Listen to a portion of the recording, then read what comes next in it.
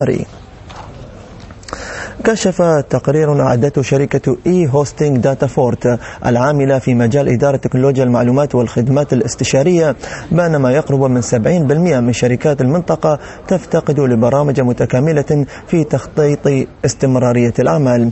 وأشار ياسر زين الدين الرئيس التنفيذي للشركة صاحبة التقرير بأن 75 شركة من قطاعات الأعمال المصرفية والتمويل وتكنولوجيا المعلومات وتجارة التجزئة والإعلام والترفيه وإدارة المرافق والنفط والغاز والصناعة. اعتبروا أن فشل أجهزة وبرمجيات الحاسوب وفقدان البيانات يعد السبب الأهم في تعطيل الأعمال وقد شمل الاستطلاع شركات متنوعة من الإمارات والسعودية والبحرين وقطر وسلطنة عمان والكويت والأردن.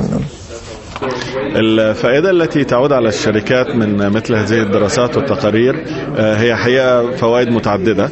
أول حاجة هي زيادة الوعي نحو أهمية ال business continuity management أو استمرارية أداء الأعمال في حالة وجود أزمة لا قدر الله أو كارثة طبيعية. الحاجة الثانية هي إن إحنا ال business decision makers أو متخذي القرار يكونوا على دراية بالمخاطر اللي ممكن عدم وجود خطط لمواجهة مثل هذه الكوارث أو الأزمات؟ والمزيد من أخبار اقتصاد.